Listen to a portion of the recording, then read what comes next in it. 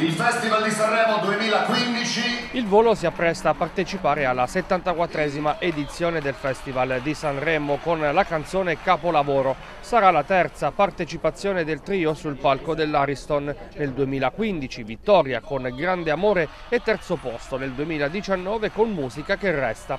Nella primavera 2024 poi il volo partirà per il Giappone e la Cina per un tour che durerà da aprile a maggio. Io sono fiero di essere abruzzese, di essere di Montepagano, di Roseto degli Abruzzi e di portare appunto sempre il nome della mia regione in alto in Italia e in tutto il mondo. Con i ragazzi del volo torneremo al Festival di Sanremo, sarà una partecipazione molto importante per noi e poi partirà un tour mondiale che ci vedrà appunto impegnati per più di un anno. Già insignito nel 2015 del titolo di ambasciatore nel mondo della città di Roseto degli Abruzzi, questa mattina Gianluca Ginoble ha ricevuto l'abbraccio caloroso della sua gente, mentre l'amministrazione comunale col sindaco Mario Nunes ha omaggiato il cantante con una presentosa da indossare sul palco del festival.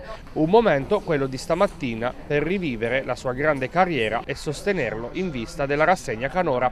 Come detto il volo sarà in gara col brano Capolavoro, una canzone sentimentale che ha come fonte di ispirazione una persona che ha le capacità di arrivare all'improvviso e dare un senso alla vita. È una canzone che mostra un'evoluzione da parte del volo a livello musicale, torniamo a trentenni al festival dopo anche nove anni dalla vittoria, quindi per noi sarà molto emozionante e ci metterà magari anche alla prova, sarà una bella sfida per conquistare anche un pubblico più ampio. Mio fratello ha lavorato sulla decisione artistica di questo nuovo progetto, quindi c'è anche la sua firma e sono molto felice. Saranno 15 anni del volo con, con un nuovo disco di inediti Primo disco di inediti della nostra carriera, la nostra carriera si è basata più su, sulle cover, sul repertorio del passato, ma stavolta possiamo trasmettere la nostra vera personalità appunto con delle canzoni tutte nostre.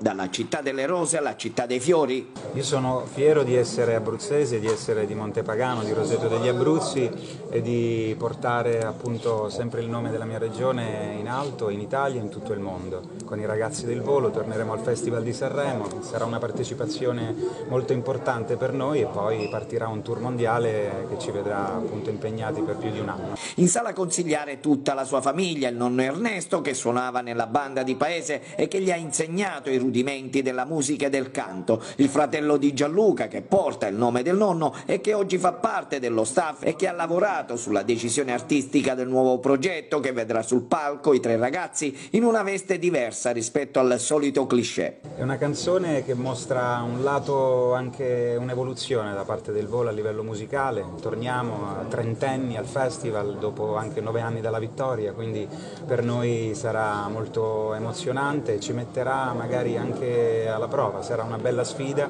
per conquistare anche un pubblico più ampio. Saranno 15 anni del volo, sì, con, con un nuovo disco di inediti, primo disco di inediti della nostra carriera, la nostra carriera si è basata più su, sulle cover, sul repertorio del passato, ma stavolta possiamo trasmettere la nostra vera personalità appunto con delle canzoni tutte nostre. Donata da un maestro orafo di Roseto una spilla che ricorda una rosa, simbolo della città e che Gianluca Ginoble ha promesso che indosserà sul palco di Sanremo.